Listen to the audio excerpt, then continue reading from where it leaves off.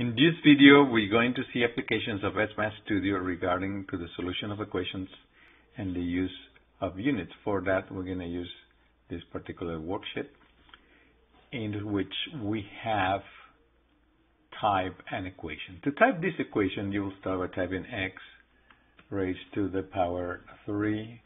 You can either use the caret in your keyboard or use the power placeholders over here and continue plus 27 times x squared and so on. Anyway, I type the equation and then you use an equal sign here to complete the equation. That equal sign is not the regular equal sign, but this one over here, which is called a Boolean equal sign, a um, logical equal sign, which is obtained by clicking here or using control equal. With that, you complete the equation. This equation is the first argument in a function called solve, and the second argument is the variable you're solving for. If we click outside of the parentheses here and press the equal sign, we obtain two solutions. This would tend to give you as many solutions as possible. I'm going to do a backspace here to clear. Now, if you add a couple of arguments, say 0 to 100, you will be selecting only uh, solutions that are in that range from 0 to 100. Say that I use 0 to 10, for example. It gives me that. If I try something smaller than 5, let's say 0 to 2, it will show a um, red frame, and if you put the arrow on top, it will say no real root. So there's no real root in that in that interval. We have to go to something larger to find that particular positive solution. If we now eliminate those values and go negative from minus 100 to 0, then we find there are two solutions. In the first time that we tried, we didn't see this larger negative solution, but if you change your range, you can find that.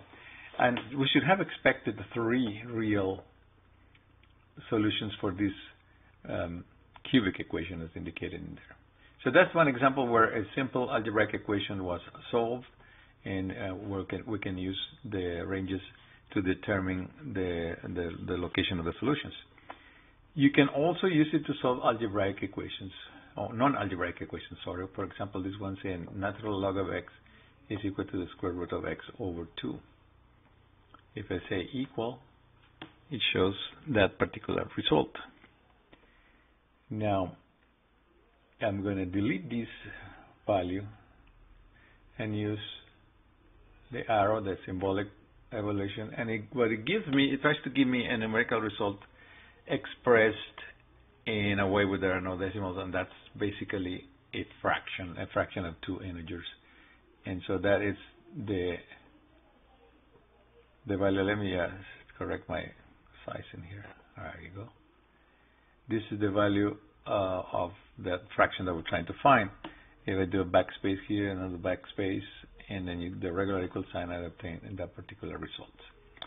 Another feature in the software is the use of units.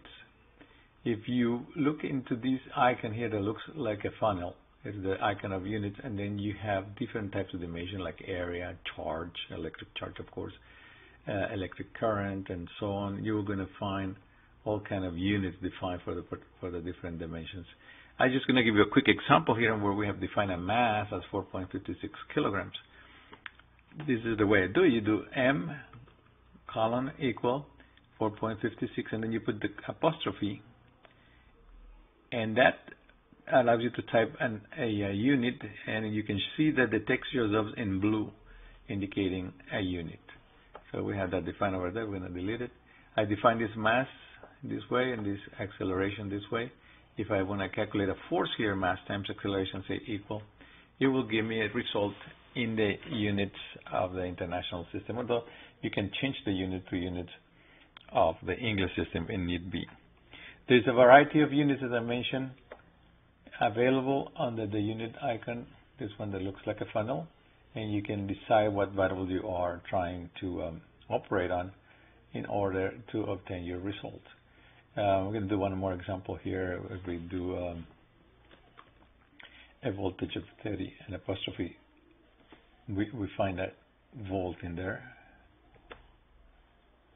And let's say a current, I'm going to call it uppercase I of, uh, let's say, uh, 2.5 amperes. Could apostrophe A. That is ampere. And I'm going to call it the resistance. and it gives you the, res the result in ohms as I expected. So uh, there is a lot of uh, applications that, you can do in SMath Studio, and in particularly this is the case of solving equations and using units. We'll show you more applications in the upcoming video.